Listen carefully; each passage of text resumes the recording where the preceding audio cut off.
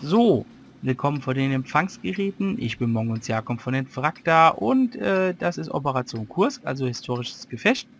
Und wie ihr seht, ist das Balancing ganz großartig.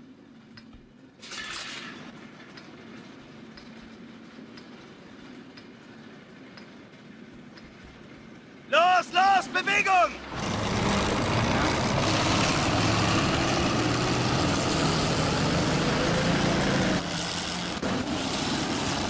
Ja, das werden wir wahrscheinlich trotzdem wieder nicht machen.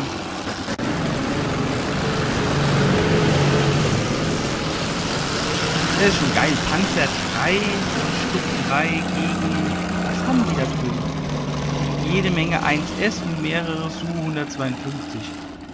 Einfach geil. Eine Su-152 killt die meisten deutschen Panzer auf dem Spielfeld mit einem Schuss. Und äh, für den Tiger brauchen sie, glaube ich, zwei Schuss. das ist geil. Ja, es hat schon seinen Grund, weil eigentlich kein, warum kein Mensch historische Gefechte spielen will. Es ist Freitagnacht, es sind knapp 170.000 Leute online und ich habe gerade eine Dreiviertelstunde warten müssen, bis genug Leute zusammen waren für dieses Gefecht. Und zweimal wurde die Warteschleife irgendwie geschlossen, weil ich zu lange drin war. Komm, irgendeiner muss die Frontspeer machen, dann mache ich das halt. Das verlieren wir eh. Also ich habe das noch nie gewonnen. ich habe das schon ganz oft gespielt. Verdix Fuzzi behauptet, er hat das einmal gewonnen. Wir glauben, A, er schummelt oder B, er hatte einfach das Glück und das russische Team entweder Gehirn amputiert oder AFK. Keine Ahnung. Also ich habe das noch nie für deutscher Seite gewonnen gesehen. Ich habe mal Ardennen-Offensive ein, zwei Mal gewonnen. Ich habe auch mal, auch tatsächlich auch mal Frühlingserwachen gewonnen. Aber Kursk habe ich nicht einmal gewinnen können.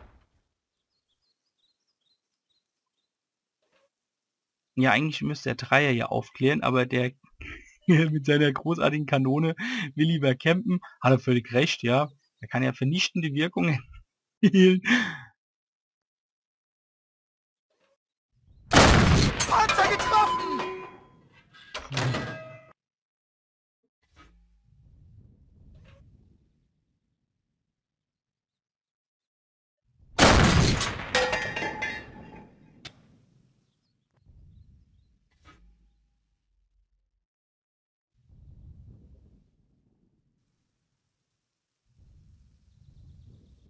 Ja, mit ein bisschen Glück, die drücken sich all schön hinten Ecke rum. Ich mache Frontspeer, ich habe ganz gute Spielfähigkeiten. Naja, wenn sie sich ein bisschen doof anstellen, die Russen, könnte das gleich sogar was werden. Diesmal. Jetzt, wo die Kamera an ist und ihr zugucken könnt.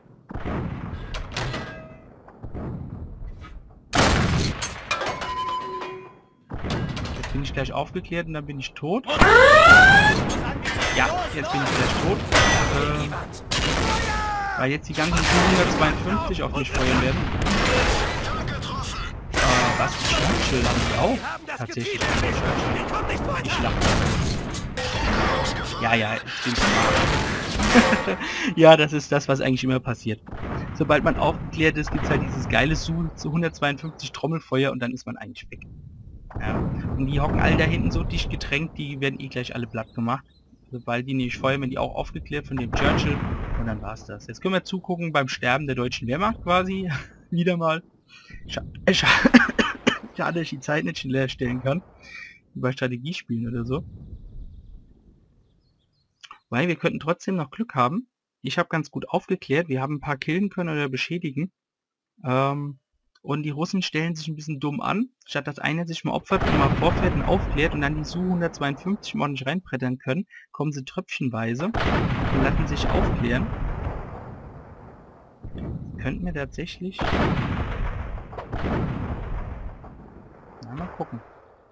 Das war's mit dem Dreier als Frontspeer.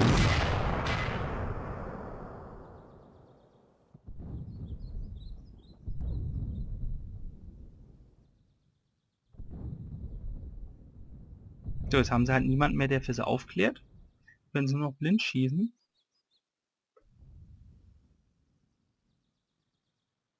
Das meine ich jetzt. Wie spät der Churchill erst entdeckt wurde. Und der hat jetzt natürlich aufgeklärt. Jetzt müssten wir eigentlich gleich das Einschlagen der Granaten da hinten sehen. Ja, die meisten Mann keinen Stellungswechsel. Ja, also das russische Team spielt ziemlich schlecht. Also hat Bertex Fuzzi doch nicht geschummelt. Also manchmal hat man Glück und das Russenteam stellt sich einfach beschissen an. In dem Fall halt Teams halt da irgendwie tröpfchenweise kommen. Und ähm, können da jetzt gemütlich weggenommen werden.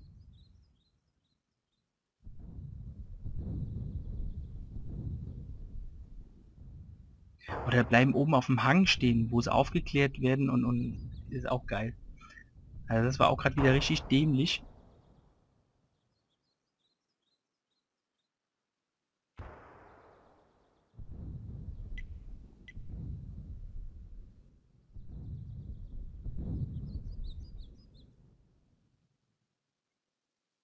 Nö, wir könnten das immer noch gewinnen. Ähm, die Russen haben niemand, der für sie aufklärt und die stehen alle in der günstigen Position offensichtlich und haben scheinbar immer nicht gecheckt, dass die Tiger einfach bloß hinten rumstehen. Der KV1S scheint der erste sein, der ein bisschen vernünftig spielt. Und den, äh, nee, wird auch gekillt. Statt hinter das Wrack zu fahren und dadurch ein bisschen Deckung zu gewinnen und weiter aufklären zu können, das eigene Team, ähm, macht er da, weiß auch nicht, vorwärts, rückwärts, ruckelt.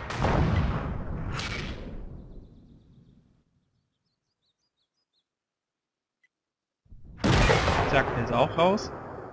Ja, das ist auch wieder so ein Idiot. Also wie gesagt, das könnte ein Sieg werden.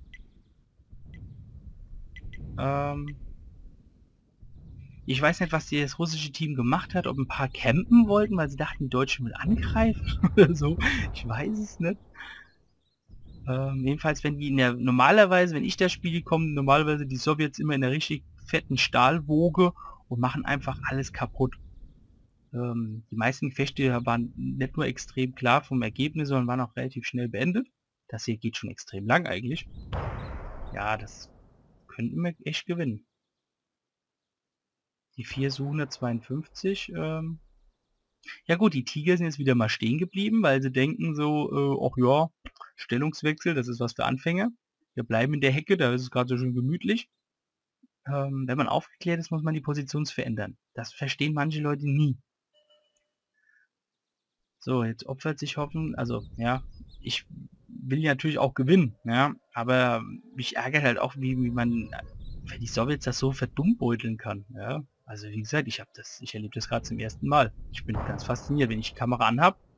Ich muss dann denken, in Zukunft immer, wenn ich ähm, was spielen will, wo ich sonst verliere, äh, Kamera an und dann gewinne ich das.